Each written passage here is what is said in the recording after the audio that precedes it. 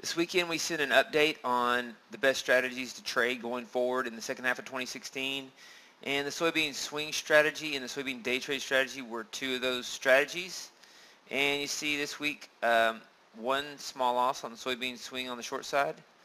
Big winner here on the long side. And we're sitting on a short trade here with an open position profit of $2,500. So um, these were excellent recommendations coming into the week.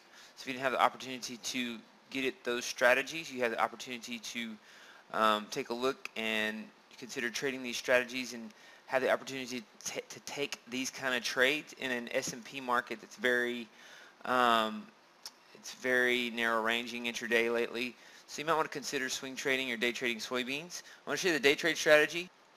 Here is Soybeans Day Trader 3 this week. We've had four trades, one every day. Uh, a loss on Monday based on a break-even stop with slippage and commission.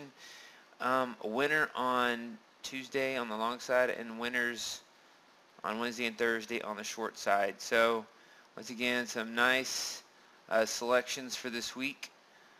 And that is Soybeans Day Trade 3 and Soybean Swing. Let us know if you have any questions and if you want to take a look at trading these strategies through the end of 2016 as I think that the soybeans market provides some great opportunities in the second half. So you want to consider trading that market. Right now the S&Ps are um, very narrow ranging. So if you're day trading the S&Ps, it um, there's not much trend, not much range lately, and the market tends to do that when it's at highs. And so we'll see how that continues on. But in the meantime, check out soybeans.